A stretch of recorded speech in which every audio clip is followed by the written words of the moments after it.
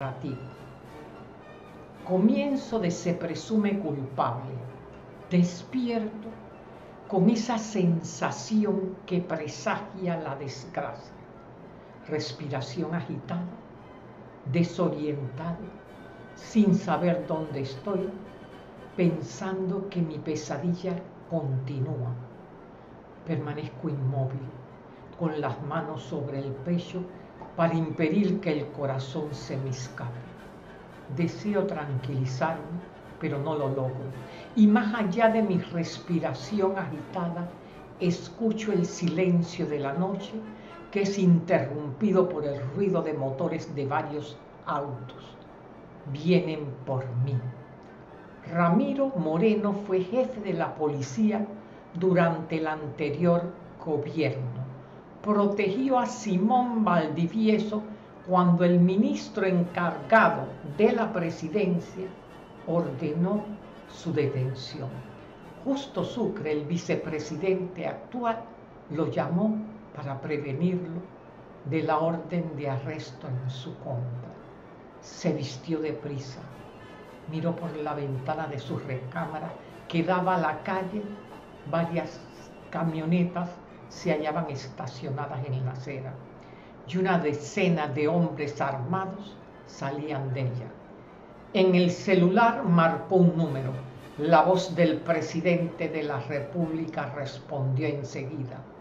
Acabo de enterarme y te aseguro que no tengo nada que ver con eso. Es asunto del Ministerio Público. Presidente, usted puede intervenir o por lo menos indíqueme quién da estas órdenes y cuál es el motivo. Lo ignoro, Ramiro. Acabo de enterarme. No me venga con ese cuento. Este es un país presidencialista y nada se hace sin que tú lo sepas. Simón Valdivieso permaneció en silencio. No te quedes callado manda parar esta vaina.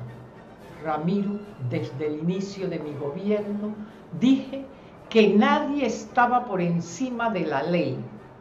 Quien la infringiera, que se atuviera las consecuencias. Ya sabes, caiga quien caiga. No me vengas con pendejadas. Esa frase gastada no me la puedes aplicar a mí. No he cometido ningún delito entonces no tienes de qué temer. Podrás probar que eres inocente. Así es la cosa. No es que ustedes tienen que probar que soy culpable, todo está al revés. Ahora no se presume la inocencia de una persona, sino su culpabilidad. Se dio cuenta que Simón Valdivieso no lo escuchaba Ramiro Moreno se quedó unos segundos mirando el celular con una sensación de indefensión que por primera vez lo embarcaba.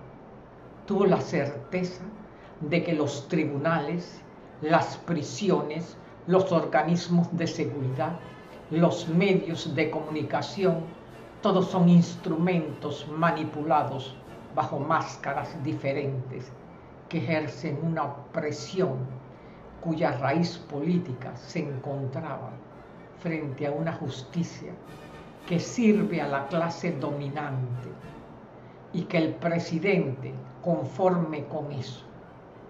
En pocos momentos tocarán a mi puerta, pensó Ramiro, aunque se equivocó en un detalle.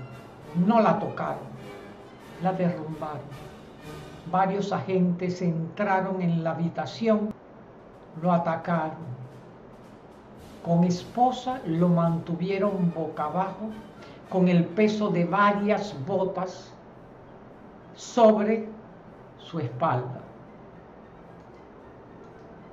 Aturdido, recordó que en una ocasión Manizales, el ministro de Seguridad del gobierno anterior, dijo en una reunión con el presidente, en cada uno de nosotros haya agazapado un tirano que se embriaga con el poder y que sueña día y noche en ejercerlo de manera absoluta. La raíz de la tiranía de Simón Valdivieso es la soberbia. Sí, es el hombre más soberbio que he conocido. La fascinación por el poder lo ha hecho olvidar que me debe la vida.